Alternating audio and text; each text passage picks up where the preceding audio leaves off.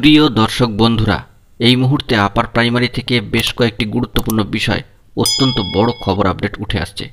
একেবারে big breaking news update বন্ধুরা, এই ভিডিওর মধ্যে তার সবটাই আলোচনায় থাকছে। তাই অবশ্যই এই ভিডিওটিকে শেষ পর্যন্ত দেখে নেওয়ার প্রয়োজনীয়তা রয়েছে ও চ্যানেলটিকে এখনই সাবস্ক্রাইব করে সঙ্গে থাকুন। বন্ধুরা, উঠে আসছে আপার প্রাইমারি থেকে এবার দুটি বিষয়ে গুরুত্বপূর্ণ খবর আপডেট সিট আপডেটের খবরের পাশাপাশি থাকছে অন্যদিকে বিরাট একটি পদক্ষেপের খবর। বিস্তারিত ভিডিওর মধ্যে আলোচনায় থাকছে তাই ভিডিওটিকে কিন্তু অবশ্যই শেষ পর্যন্ত আপনারা বোঝার চেষ্টা করবেন, মন দিয়ে শুনে। বন্ধুরা, প্রথমত জানিয়ে রাখি যে সিট আপডেট সংক্রান্ত গুরুত্বপূর্ণ মামলা সিঙ্গেল বেঞ্চের তরফ থেকে যে বিষয়টি জানানো হয়েছিল, যে ডিভিশন বেঞ্চ যদি এ বিষয়ে কোনো নির্দেশ দেয়, তবে সিঙ্গেল বেঞ্চ কিন্তু হস্তক্ষেপ করবে না। ডিভিশন বেঞ্চ কোনো নির্দেশ না দিলে তখনই সিঙ্গেল বেঞ্চের তরফ থেকে নির্দেশ কিন্তু দেওয়া হবে।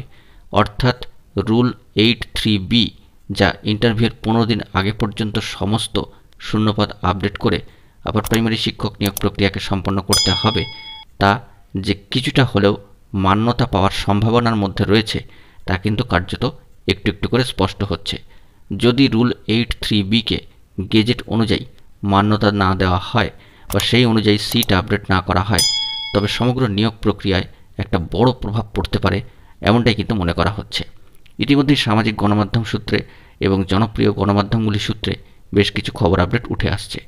বন্ধুরা, যে বিষয়টি জানা যাচ্ছে যে কমিশনের তরফ থেকে যদি সিট আপডেটের বিষয় কোনো কিছু না জানানো হয়ে থাকে, অর্থাৎ হলফনামা দিয়ে মহামান্য কলকাতা হাইকোর্টে এ বিষয়ে কিছু জানানো না হয়ে থাকে তা হলেও যে সমস্ত প্রার্থীরা, অর্থাৎ ইন্টারভিউ বঞ্চিত প্রার্থীরা রয়েছেন, তাদের তরফ থেকে কিন্তু বারংবার প্রেয়ার করা হয়েছে বা মহামান্য আদালতের কাছে বিষয়টি রাখা হয়েছে যে সিট কিন্তু আপডেট করতেই হবে।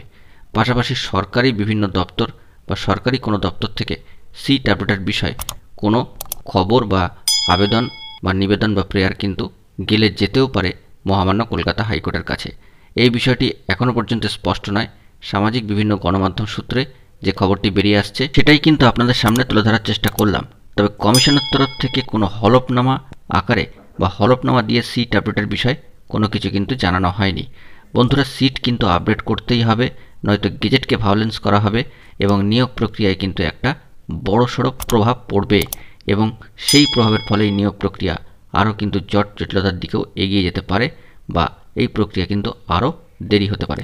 সেক্ষেত্রে সিট কিন্তু আপডেট করতেই হবে, গেজেট মেনে অবশ্যই আমাদেরকে একটু সময়ের জন্য অপেক্ষা করতে হবে।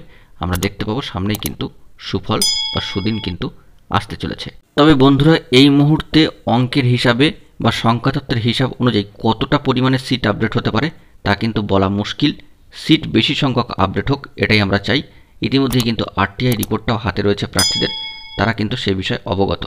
তাই সিট যত বেশি সংখ্যক আপডেট হবে, তত প্রার্থীদের কিন্তু সুবিধা। অন্যদিকে, আপার প্রাইমারিতে ইন্টারভিউ দেওয়া প্রার্থীরা, যোগ্য বঞ্চিত দুদুবার ইন্টারভিউ দেওয়া প্রার্থীদের তরফ থেকে একটি বিরাট পদক্ষেপ গ্রহণ করা হয়েছে। চলুন আমরা সেই বিষয়টিকে একবার জেনে নিই। বন্ধুরা, যে খবরটি উঠে আসছে যে আপার প্রাইমারিতে দীর্ঘ ন বছরের বঞ্চনা এবং যন্ত্রণা তাই পশ্চিমবঙ্গ আপার প্রাইমারি চাকরি প্রার্থী মঞ্চের তরফ থেকে আগামী তেসরা জুলাই একটি গুরুত্বপূর্ণ পদক্ষেপ গ্রহণ করা হয়েছে, যা কার্যত বিরাট বড় একটি পদক্ষেপ। আগামী তেসরা জুলাই তিলোত্তমার বুকে আসার জন্য আহ্বান জানানো হয়েছে আপার প্রাইমারি ইন্টারভিউ দেওয়া প্রার্থীদের পশ্চিমবঙ্গ আপার প্রাইমারি চাকরি প্রার্থী মঞ্চের তরফ থেকে। সময় দেওয়া হয়েছে বেলা বারোটা।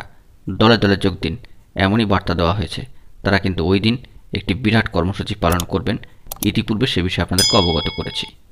বন্ধুরা, এখন এটুকুই। সকলে ভালো থাকবেন ও চ্যানেলটিকে এখনই সাবস্ক্রাইব করে নিয়ে সঙ্গে থাকবেন। ধন্যবাদ।